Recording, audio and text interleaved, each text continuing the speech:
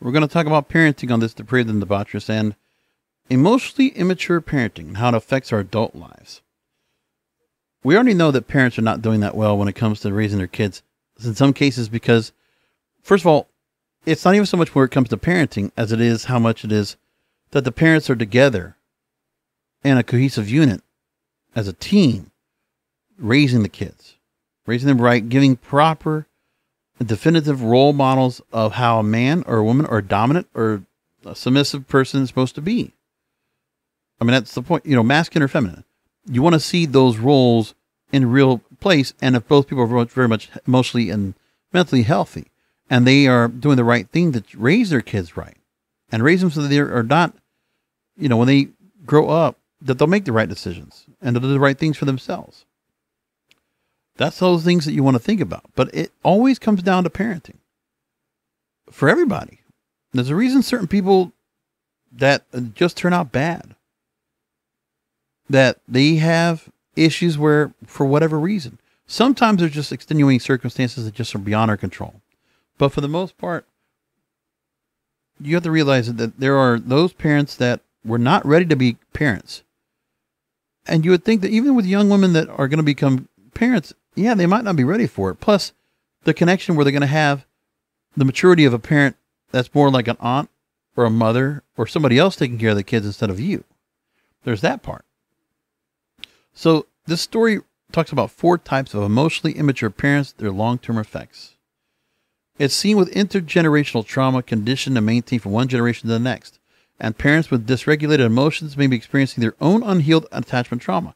I can't tell you how many times I've heard about women that because of the you know the resentment and anger they might have from past relationships that unfair to them. But then they're left to a point of being the single mom and they're sometimes it's uncontrollable for them not to take out their own frustration on their kids. It's not fair but you can see that.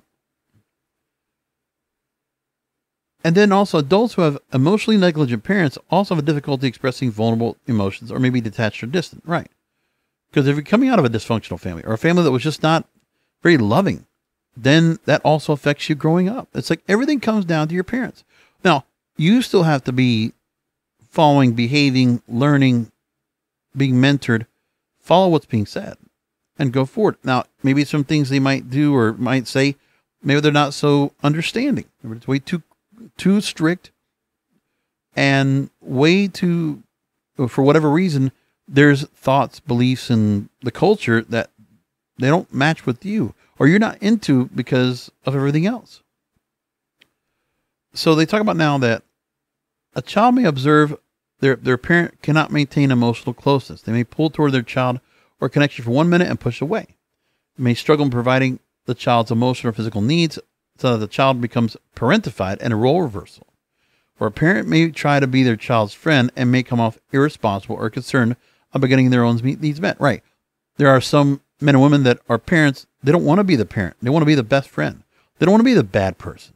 They don't want to be the one that has to say, okay, do this, do that. So when a parent is emotionally immature, they often are parenting from a place of their own attachment trauma, early abuse, or rejecting parents. And some of these emotionally immature parents don't evolve past their own childlike needs or self centeredness. They, because themselves, were abused or neglected in their childhood. So you have to understand that parenting, this kind of parenting can affect a person later in their adult life. It helps to recognize that unresolved trauma is what perpetuates from one generation to the next. Yeah, this is why you got to, you know, if you got to go to therapy and, un, you know, to, you don't want to let what has happened to you affect other people. You don't want it to affect you when you start making changes about yourself that makes you feel worse about yourself. You got to be able to just come out of it. If there's a way to do it, you got to give it a chance. So there's red flags for an emotionally immature parent. Inconsistent or non-existent boundaries. Trying to be the party parent or blur the lines between friend and parent. The parenting style is often based on their own unmet needs for love and attention. They might ignore or neglect their child's needs for their own needs. And those that live in the moment that include living beyond their financial means. Some are mental health issues and diagnoses. Dismissive or avoidant of the child's feelings drug or alcohol addictions, or compulsive behaviors, being excessively needy or rigid and inflexible with rules or boundaries, which prevents the child's autonomy. And I'll tell you, that's partly, you know, a lot of religions are like that. I don't want to say which ones, but there are. There's four types. One is driven and controlling. Helicopter parents demand excellence and perfection of their children. High, often unrealistic demands on themselves and their children. And these parents may parent with excessive anger from a punitive approach. I might work in a Chinese family in you know mainland China, but that shouldn't happen here. And these kids will usually become perfectionists, overachievers, and highly critical of themselves, struggle with compulsive behaviors such as workaholism, shopaholism, and many ways of self-numbing to feel worthy. Romantic relationships, they might demand perfection of their partner and minimize relational, relational problems by staying overly busy or intellectualizing instead of allowing themselves to feel their emotions, like overthinking. I know that.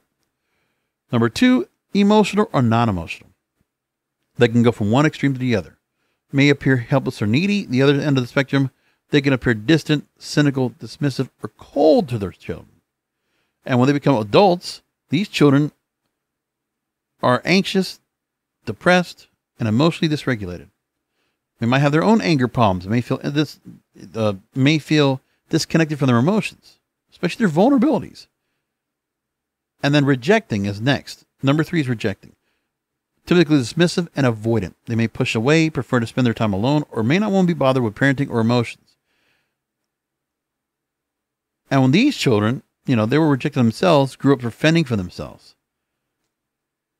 And if they interact with their children, they might be demanding or verbally abusive. And when they're growing up, these kids, they'll have limited empathy for other people's needs, may vacillate between wanting connection and pushing it away, and may appear selfish or self centered and be also an emotionally rejecting parent themselves. Four, negligent or passive. And that's parents who are emotionally or physically negligent or passive, avoid confrontation. Easy to get along with, they think, but negligent or passive lack healthy and consistent boundaries. They want to be the cool parent or the child's friend. And parenting is reduced to what the parent wants with less consideration of what their child needs. And those kids, they usually are emotionally or physically negligent. They have higher risk of anxiety, depression, or mental health diagnoses. Parents that get this, they also they actually do get like an idea of where it works.